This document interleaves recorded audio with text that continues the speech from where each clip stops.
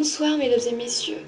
Ce soir, documentaire sur le fait le plus marquant de cette année. En effet, des jeunes auraient réussi à se divertir et qualifieraient même leur crime par l'expression prendre du bon temps. Ces images n'ont jamais été révélées jusqu'à aujourd'hui. Les images les plus choquantes sont celles filmées par certains jeunes criminels. En effet, sur ces vidéos, on peut les voir clairement en train de s'amuser. Non, vous ne rêvez pas, et tout de suite, les images.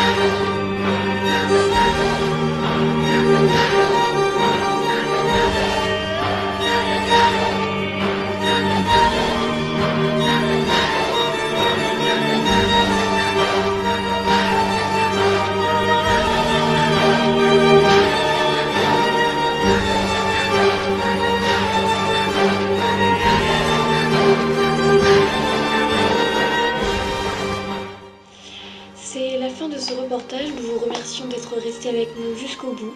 Nous vous disons à la semaine prochaine pour une nouvelle émission de Crime contre la liberté.